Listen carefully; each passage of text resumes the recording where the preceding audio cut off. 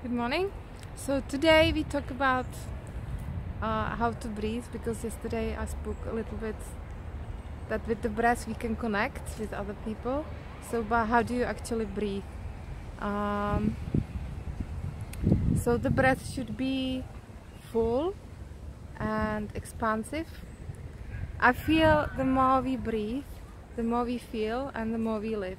It actually from the depth and fullness of the breath we can really uh, bring out this quality of life yeah?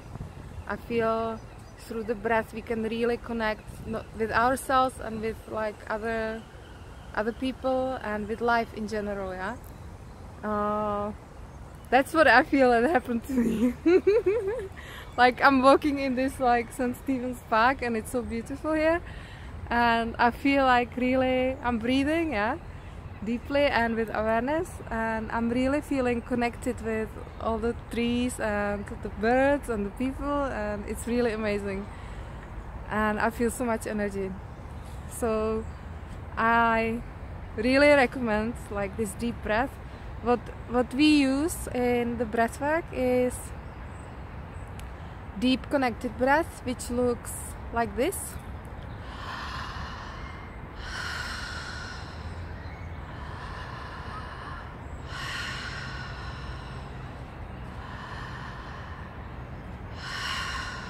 so it's connected because there is no pause between the inhale and the exhale and the exhale and the inhale.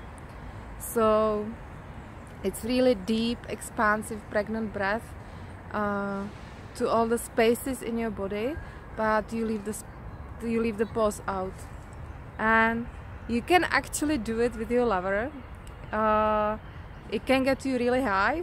Yeah so I warn you but it's really it's really mind-blowing actually to breathe with someone like so close in an intimate relationship. You can uh, breathe uh, into each other's breath so drink each other's breath. So as she exhale you can inhale her breath and vice versa.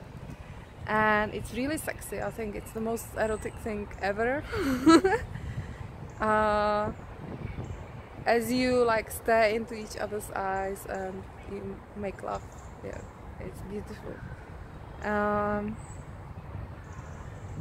yeah but you can do it on your own like for a few minutes a day. I practice it every day when I'm out when I'm walking and it's really charging and like very I get like a lot of energy from it. If I, if I do it I don't know like 5 10 20 minutes or something yeah uh, and of course you can start slow and just build up. Um, maybe don't do it in the cold because of your throat but yeah you can breathe through the nose when you but like really really deeply. And yeah just experiment with the breath and with the awareness.